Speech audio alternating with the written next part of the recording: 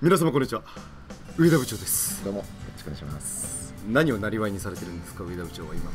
今はあのいろんな会社のお手伝いベンチャー企業のお手伝いをしてるんですが大体そういった経営者の方とかあの事業リーダーの方と一緒に温泉に入りながら打ち合わせをするというそういう仕事を今しています。趣味で？いえ。い え活動として。温泉を組み合わせてリラックスしながらいろんな深い話をするとおお、未来の話をすると。未来の話を。まあずっと温泉入ってるわけじゃないんですよね。はい。あのそういった活動もほうほうあのみんなにぜひ進やろうと。その進めようと、はい、いいじゃないかと。いいじゃないかと、はい。なぜあのよくあるねあの居酒屋さんやゴルフ場さんだけなんだと。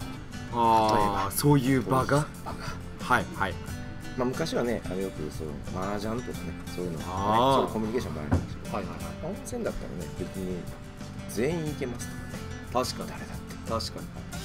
あのすごくリラックスもするし、うん。はい。あのやっぱりそういうのにねすごくリラックスした状態で未来の話をしよう。そうそうそうそうそう。っていうかよくやってたでしょ？まあやってましたよ、うんまあよよくあの誘われて連れて行かれてましたよくねはい。社外のねはい。他の会社の方とかね取引先とかと一緒にそういうのをどんどんやろう。はい。えっと今日紹介していただく温泉は、そうですね。今日はあのー伊豆にあるですね。伊豆でございますか、はい。東京からも行きやすい？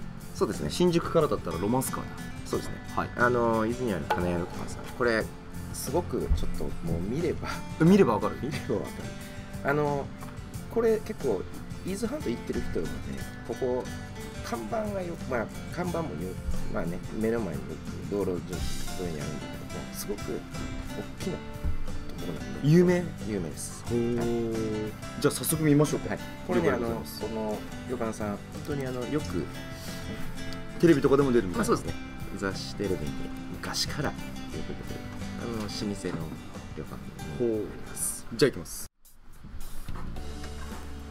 あらまあ綺麗。あ、そうですね。てかでかい。はい。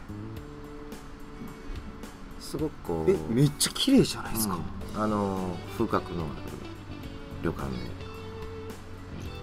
これあの、ちょうど本当にもう、伊豆半島でいうと一番南の方にあるんですね。半島まあ、下田とか、ねうん南南の方ですね。一番端端というか東京というか北側からするとね一番あのに深いところにあるっていう、なんかものすごい清潔感というか綺麗。まあ、色が綺麗。ここはあのもちろんこうお風呂がいくつかあるんですけども今これ紹介してるのは男湯と女湯で、うんうんうんすごくあの赤ちゃん用のベッド。あそういうのですね。でここまではねああ綺麗だな。まあこういううんすごい綺麗。感じだな感じなっていうね。えいやいやすごい綺麗。もうこれ分かるでしょ？こう湯がギリギリにね溢れてるのでいいっすね。本当にもう見てるだけで癒される。いやもうこの木の艶艶な感じとかももう美しいですね。テカリ感とかねてかこれ昼間に撮影してますけどやっぱりそうそうそう昼間に入る温泉とか最高ですかあらね。あもうたまんないですよね。やっぱりどうしても夜に入ることが多いんですけどね。こ外が明るい時ってね温泉って罪悪感を感じるほどに素晴らしいですからね。う んあの本当にね光のね窓から入るぐらいのこの部屋すごく天気良くてね美しい。に映ってますよね。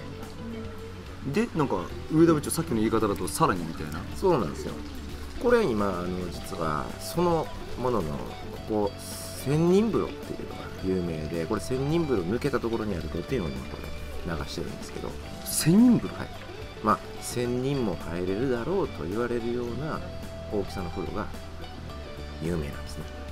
今のところないっす今な今これからです、はい、で今のちょっと露天風呂をね紹介してるんだけどここのその千人風呂っていうのがうん。結構深いんですよね、深くちょっとセットされてて、えーこれねちょっとこれだけ見るとあこのぐらいの大きさかなっていうのね。まあ今のところは今の今のところは美しい。美しいですよね。ところがこれあの混浴で男女混浴で一つその千人風呂用意されててあのあこれすみません。ちょっと湯上がりどこてかろです。おめっちゃ綺麗っすね。めちゃくちゃ気持ちてかいいです。超おしゃれ。はい。ああ出た千人風呂ここがここのねあのメイン。メインです。この広さこれってサイズどんぐらいなんですか？いやこれね15メートでかっ。ル長さがでかっ。いやーすごく長い。で15メートル？15メートルってなかなかでかっ。プールなんですけどここすごいのがここの施設の方がねというには深いんですよ。1メートル以上、1メートル近くあるのであの特に奥はねここの手前より奥のところが泳いでくださいって他のお客さんに迷惑でなければ え？なかなかないんですよね。ないでしょうね。泳いだらダメだとかね。迷惑かけるなですよね基本は。禁止禁止禁止ってよくありますね。泳げ？どうぞどうぞ。他のお客さんに迷惑でなければ泳いでくださいと。温泉で泳げるとかなかなかないですよなかなかしかもこれ混浴なんでね。やばいっすね。すごいなっていうもうこういうのなかなか日本どれだけ国内でフリーダム。そうそうそう。泳いでいいなんていうのは僕結構入ってましたけど今まで泳いでいいなんていうことを声をかけてくれることまあないですよね。静かに入れが日本の文化じゃないですか。ちょっとあのえそれ超いいっすね、うん、そうそうそうそう。泳いで入るなんていうのは僕もあの以前あの温泉目的でねドイツはいはいはいにねはいはい。バーデンバーデンっていうところ行った時に泳げとどうぞどうぞこの円柱のところにね丸風呂があってこれをぐるぐる回れみたいな形で指導員がいてその裸でみんながそこを泳いでるっていうのは一度ありました海外にもそんなとこあるんですか？あるんですね。混浴でもうあのすごいっすスパだねスパだったそれで泳げみたいな。トレーニングの一環みたいなね。健康増進の。日本はそうじゃないね。そうっすね。ゆっくりそうっすね。入って静かに入ってあの禅の精神みたいな感じあるじゃないですかここはまあまあよかったら泳いでください。みたいなでも1メートルの深さってだいいぶ深いっすね。ぶ子供だと結構あれ溺れかねないぐらいの感じですよね。そうっすね、うん。だから浅いとこにいてねってそうそうそうそうそう。だからここは本当おすすめは子供さんがまあ小学生ぐらいだとすごく楽しいと思う3年生4年生ぐらいとか。そうそうそうそう。こんな楽しいお風呂ないだろうなっていう、すげえ泳ぎたいっすね。いや嬉しいでしょ。いや泳ぎたいっす しかも20メートルでしょ。そうそう泳ぎたいっすなかなかね素晴らしい。たまにというか、はい。よくプールとか。あ行くの？行きます行きます。おでも25メートルプール相当広いじゃないですうんか、広い。でも20メートルですよね。そうそうそうそう。なんか映像で言うとそこまでなんかそのあーそうね。がっつり広さみたいなものうんを認識できなかったんですけど、20メートルは本当でかいっすよ、いや行ってみたいなと思いました。とてもこういうところ行きましょう。